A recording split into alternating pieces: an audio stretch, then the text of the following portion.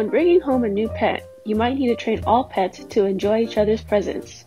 You have to be really patient with them about this, because it could take a while for them to be comfy around each other.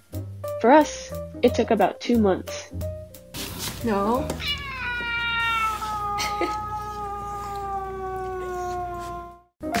Tres is my new dog, but we already have a cat at home. Both pets have gotten injured from car accidents, so they can get a little paranoid, especially Bramble. So the first step is to make sure your dog knows their commands. A couple of important ones are lie down, stay, and sit. Sit. Good girl. As a dog owner, you should always practice commands. Dogs love validation when they do something right. Good job. The second step is to have them smell each other through scent swapping. You can use a small hand towel to rub your pet's scent glands. For dogs, it's under their armpit. For cats, it's their mouth.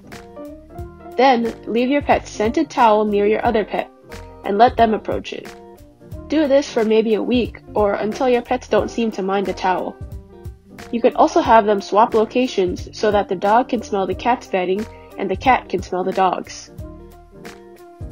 The third step is to have them look at each other through a glass barrier. This might be a little scarier, but one thing you can do is feed them their meals or treats while they look at each other through the glass. This would help them associate the other animal with something good. You can do this for one to two weeks, or until they start to seem more comfortable. The next step is to have them see and smell each other. This can be done through a mesh barrier, like a screen door. You could keep doing what you did with the glass barrier so that you can really reinforce this positive association, this time while seeing and smelling each other.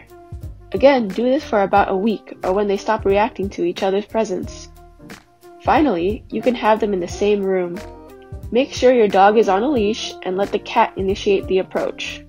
Soon, they will get comfortable and are able to be near each other without any problems. Eventually, you might be able to remove the leash from your dog. Just make sure your dog knows their commands and you still keep them supervised. Remember, this can be a long process, so be very patient and eventually your pets can get along too. Thanks for watching, and don't forget to subscribe if you want to hear more dog tips and to follow along on Tres's adventures.